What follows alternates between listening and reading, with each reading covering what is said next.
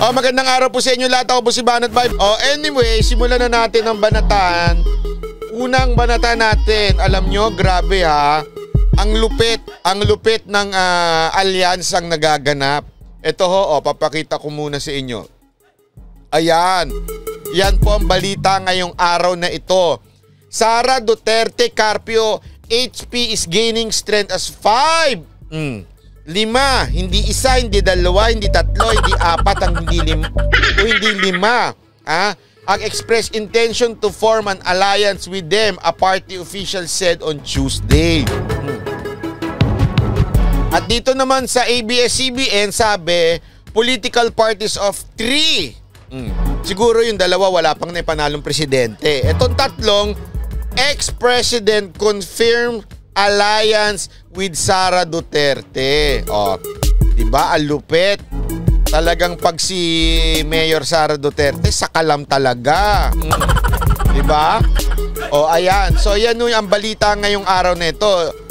Isipin niyo, alam niyo bakit importante? Baka isipin kagad nyo, iba, bakit sila nakikipag-alliance kila ganito, kila ganyan? Lagi niyo iisipin, politics is addition. Anong ibig sabihin nun? Importante ko kasi sa ground, may mga tao ka. Halimbawa, mga mayor-mayor. Depende yan sa uh, party ng iyong mayor. Kunwari, itong mayor nito, ang party niya is party people in the house. So, ang uh, bibit-bitin niya kung ano yung binitbit ng party people in the house. Okay? Importante yan mahirap na hindi hindi yung yabang-yabangan ka lang na ako ang the best. I am the best president. Ganun-ganun ka lang. Sabihin mo lang hindi. I was I'm anointed by the Lord. Hindi pwedeng ganun lamang po 'yon, na dapat po diyan if you are really anointed eh makikita ng ibang mga partido yon at sasanib sa iyo tutulong sa iyo dahil sabi nga nila 'di ba the voice of the people is the voice of ano, yung sur sur sur sur mga ganun ganun sila. 'Di ba? So ibig sabihin lamang po, hindi yan nadadaan lang sa payabangan. Ito nga gusto ko kay Mayor Sara. Isipin nyo to ah. Si Mayor Sara tahimik lang. Tahimik lang siya, hindi ho nagsasalita, hindi madaldal, walang inaatake, walang kinakalaban. Tahimik lang, hindi hindi mahilig sa media. Isipin nyo ah, hindi pa mahilig sa media si Mayor Sara Duterte sa lagay na yan. Pero yung mga political party na ang pumapasok sa kanya, gusto na siyang manalo. Isipin niyo yun. Ganong kalakas yung, yung uh, Mayor Sara Duterte na yan. Ayan no, Vox Populi, Vox Day. Ah, para para social Erwin, di ba? Oh, Vox Populi, Vox Day. Alam mo naman, alam mo kasi pasensya na hindi kasi ako galing-galingan tulad ng iba. Na basta lamang magbaling-galingan. Basta na, as, as long as we understand each other. Yun na po yun. Oh. Ito na nga, ito na yung balita na yan. Oh, ito ha. Oh, pasok. Ilang malalaking partido na sa bansa ang nagkumpirma ng posibleng pakikipagsanib puwersa sa hugpong ng pagbabago. Ang partido ni Presidential Daughter at Davao City Mayor Sara Duterte oh. para sa 2022 national elections. Kagaya ng National Unity Party na isa sa kilalang leader ay si Manila Mayor Isko Moreno, puwersa ng masang Pilipino ni dating Pangulong Joseph Estrada, People's Reform Party na pinangunahan noon ni dating Senador Miriam Defensor Santiago at kamakailan ay ang Lakas CMD na partido naman ni dating Pangulong Gloria oh, Ayan, ha, true true salamat po ha. Tahimik po siya kasi busy po talaga siya sa pagtatrabaho sa Davao. Totoo naman. Alam mo, ito na nga eh, kikinikwento ko nga sa inyo, di ba, na ang politika ay addition. Napaka-importante niyan sa ground kasi kunwari inutos ng uh, ito ni, ni Gloria, kunwari inutos niya doon sa mga kapartido niyang mga mayor na, na mga congressman na, oh, ang ating kandidato sa pagka-presidente ay si Sara Duterte. Ipupush nila yan doon sa baba, sa mga barabarangay. Importante ho yan. Kaya nga dito mo pala makikita si Lenny Robredo olat na olat na. Kasi yung Liberal Party na supposedly sikat na sikat, wala nang kakwenta-kwenta. As in, wala nang sumasanib sa kanila. Sila pa ang naghahanap. Naghahanap pa sila ng kandidato. As in, gusto ba nilang... Eh, sa loob, sa loob-loob ko nga, hindi ba kayo happy kay Robredo? Eh, hindi, hindi, hindi ba kayo happy na bakit kailangan nyo pang makipag... ah, gusto nyo pang maghanap ng iba? Di ba kayo happy do sa kandidato ninyo? Oh. Baligtad kay Mayor Sara. Kay Mayor Sara, tahimik lang siya, hindi nagsasalita. Tapos, ano, ah, kami sasali kami sa'yo. Tutulong kami sa'yo. Ganon. Oh, di ba? Kay Lenny Robredo, yung kamismong kapartido niya, hanap tayo ba? Sino ba pwede dyan? Tara, mag-interview tayo kung sino pwede natin kunin. Kaya ang sakit sa banks. Ah, kasi sa totoo lang, sa totoo lang ha, ang Liberal Party 3% lang talaga. Oh, ganun, ganun kasakit sila sa banks. Pagal Arroyo. Ayon sa National Unity Party, bukas sila sa posibleng tambalang Sara Isko. Nako! Sa tuwing Medyo ano ha, Sara Isko, ano, payag ba kayo? O, ilagay natin yan, i-poll natin yan, tapos mag-participate kayo ha, pakita natin. O, Sara Isko. Hmm. Okay ba sa inyo? Ayan. Yes or no?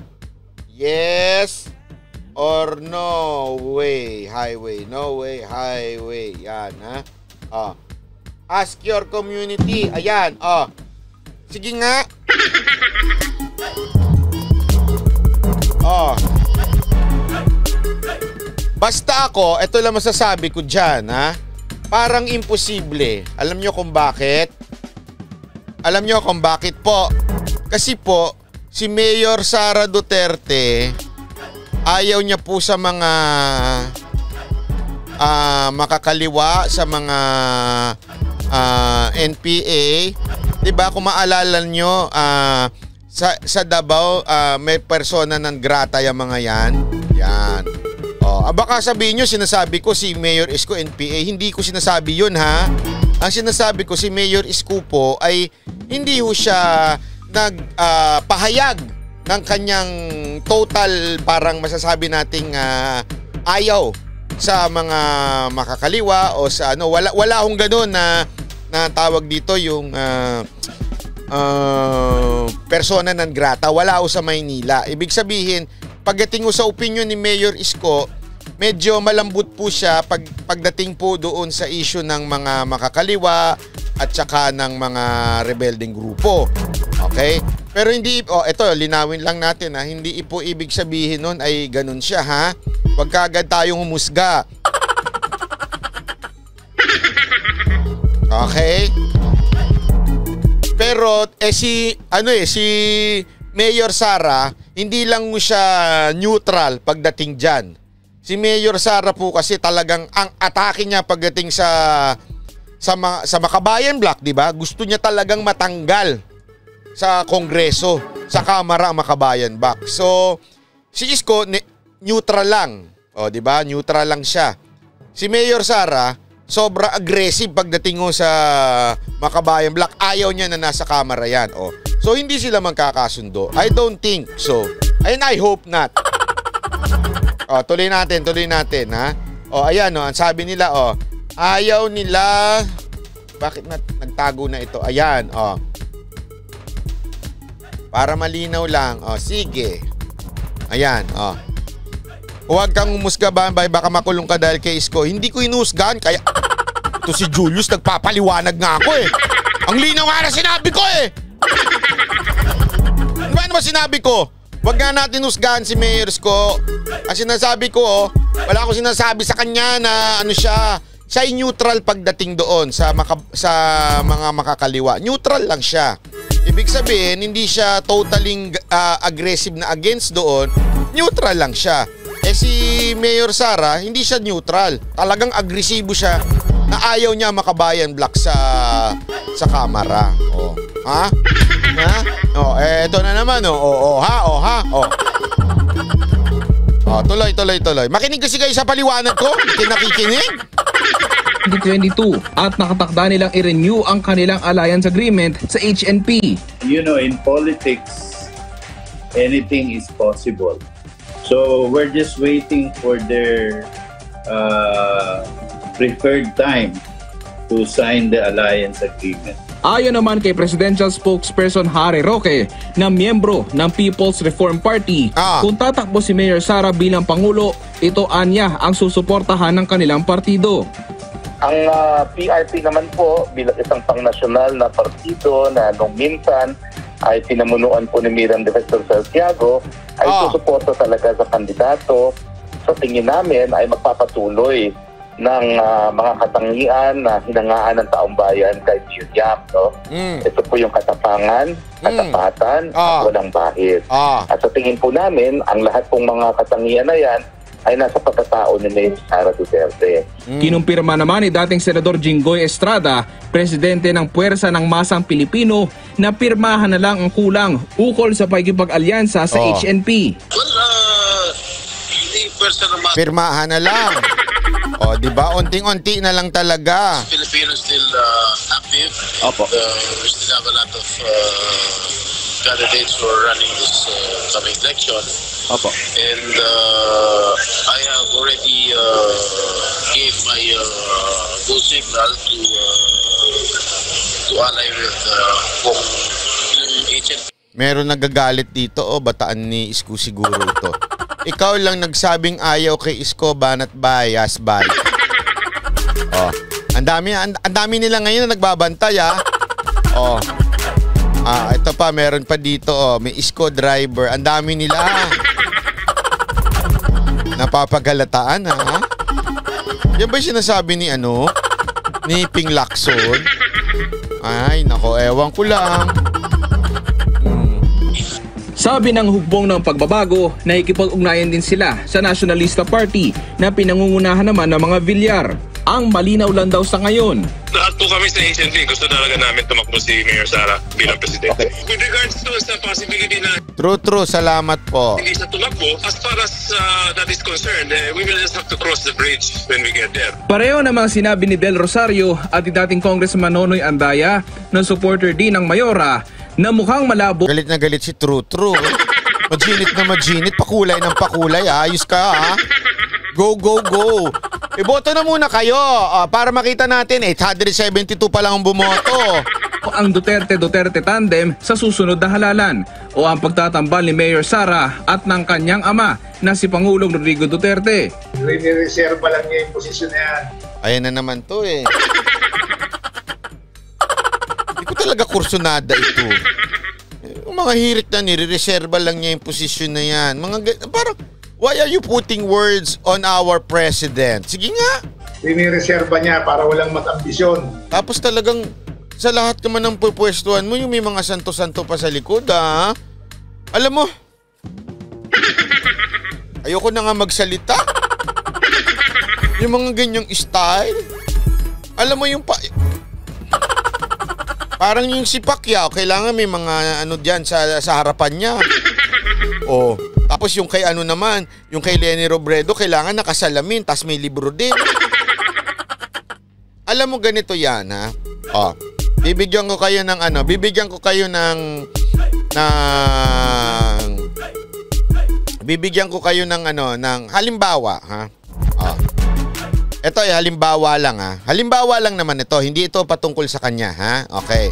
Halimbawa lang. Mm. Alam mo yung mga taong ah, medyo ano sa authority, yung parang fi- yung mapa- mapataas. Okay? Alam mo, pag nakita mo kotse niyan, lahat na ng sticker nakalagay doon. PNP, NBI, Office of the President, Office of the Vice President, Congress, Senate, lahat ng nakalagay na doon. Alam nyo kung bakit ganon. Kasi kung meron naman talagang katungkulan yan, hindi nila ilalagay yon. Oh, pwede siguro isa. Oh. Kasi para ah, tanda na kung saan ka nagtatrabaho, okay yon. Pero yung iba makikita mo, ang dami, minsan may nakita akong ganyan eh. Ah, yung sasakyan niyang Pajero, lahat ng sticker na andon. Kasi if you are convinced sa sa sarili mo na I don't need to put that in. I know myself. I know my my uh, my capability. I know who I am. I don't have to isampal sa tao na "Ay, ito ako, o pulis ako, o ito ako, NBI ako. 'Di ba? Ang tawag doon defense mechanism. Oh. So kunwari, ikaw matalino ka, halimbawa. alam mo talagang matalino ka. Oh, 'di ba maglalagay ka pa ba ng mga libro-libro diyan? Oh, libro, libro, libro. Oh. Oh, 'di ba? Eh, eh, alam mo naman matalino ka, ba't mo pa kailangan may libro? Oh, meron isa dyan. Matalino daw siya, so sa, nagbibideo siya, may library sa likod. Para kunwari, nagbabasa ako ng marami. Ganon. Oh, di ba? Oh, meron naman. Oh, ako, marami akong ah, nakuha na research na mga korap. So, marami siyang ah, papel dyan sa harap niya. Ano ang tawag doon? Oh, ang tawag po doon eh gusto mo lang ip- ipagyabang kahit hin- ah, masyado ka lang defensive. Masyado ka lang ano na para sabihin na eto ako ganito ako. Elena Jennings, maraming salamat.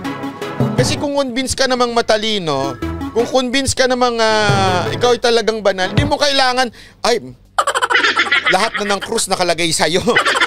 lahat na ng ah, Di ba ang pangit? Oh, pa-impress. Oh, may mga ganyan. Sa totoo, ito ha, lagi nyo to tatandaan. Ang, halimbawa lang yung mga totoong mayayaman, ha? Eh, ito, explain ko sa inyo to ha. Yung totoong mayayaman, hindi yan show off. Yung totoo, pag show off, alam na this. Halimbawa, yung mga babae na, mayaman ako. Excuse me. Yung sugar daddy mo mayaman, hindi ikaw.